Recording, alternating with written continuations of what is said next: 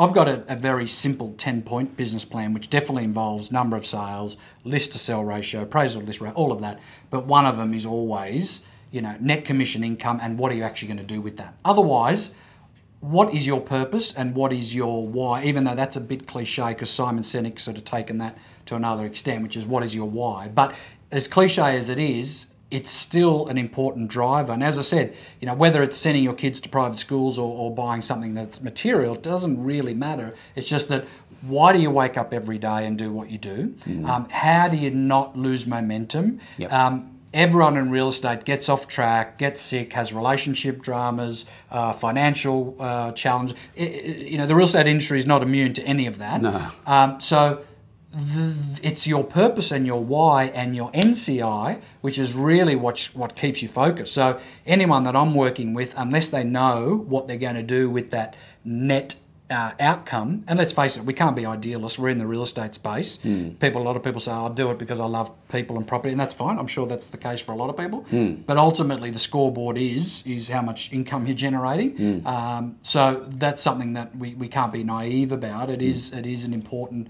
KPI. Uh, but most importantly, what are you going to do with it? Is it wealth creation? Is it family orientated?